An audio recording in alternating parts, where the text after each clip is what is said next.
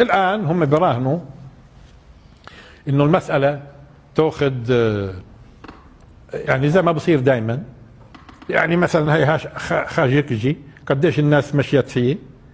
يعني هي شوي شوي ودير بالك هي ردت في كأنه في أمريكا ردت طلعت شغلة خاشقجي آه. وكل يوم هالجواسيس بيوقعوا في مشاكل قد ما يحاول ترامب بيغطي عليهم مش عم بزبط.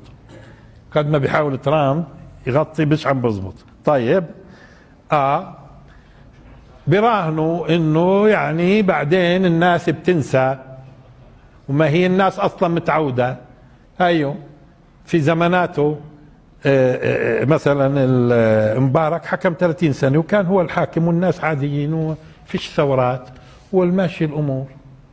وحتى مش بس هيك وكمان مبارك أمام الناس كلها كانوا اولادته يتهيئوا مشان يصيروا هم بعده.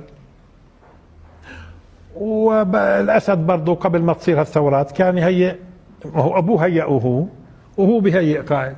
والقذافي كان يهيئ اولادته وجمهوريات ها؟ ديروا بالكم جمهوريات. يعني الملكيات هي الحقيرة. والجمهوريات صاروا بدهم يصيروا ملوك. صاروا بدهم يصيروا ملوك. طيب فالناس الآن مع كل هذا على فكرة اللي بيصيروا كل يوم بيسمعوا الناس كل يوم بيسمعوا كل يوم. الناس صارت أمام الحقيقة.